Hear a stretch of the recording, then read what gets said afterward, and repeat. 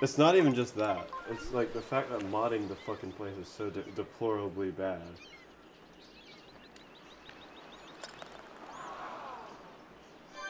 Can we just count that? Can we just count that as a hole in one?